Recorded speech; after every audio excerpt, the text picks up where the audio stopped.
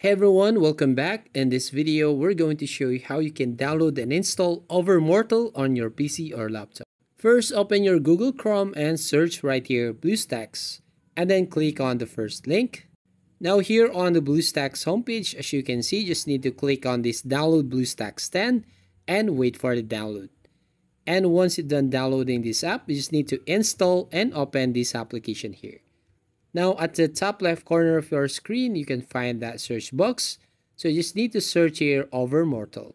And we're going to type right here Overmortal and tap on search.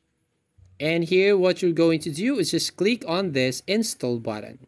And that's all. Thank you for watching. Please like and subscribe to this channel and don't forget to ring the bell icon to notify you on the next video.